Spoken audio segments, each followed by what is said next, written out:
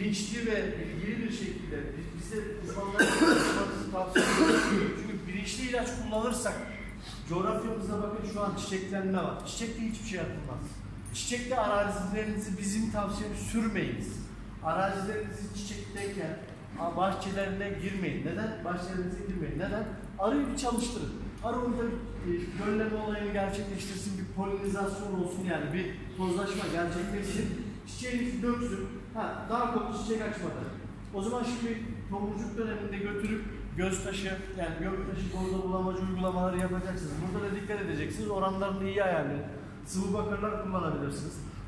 Bunları tek tek size söyleyeceğiz.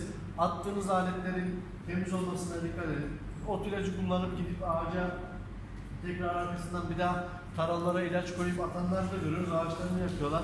Bakırlı preparatlarla ilaçlama yaptığınız zaman taralınızı temiz tutun. Kullanacağınız ilaçları nasıl karıştıracaksınız? Nelere dikkat edeceksiniz? Bunları size bugün burada anlatacağız. Tamam mı? Bunların ayrıntılarını ufak böyle sizin anlayacağınız şekilde size söyleyeceğiz. Kullandığımız suyun pH'i, katılan ilaçların e, sıralamasına kadar hepsini size söyleyeceğiz. Tamam mı?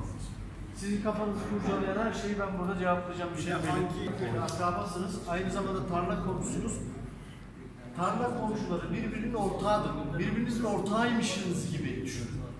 Birbirinizin menfaatini düşünmüş olursunuz. Yani siz sen e, iyi bakarsan, komşun iyi bakarsa bölgenin e, coğrafyanın e, doğal olan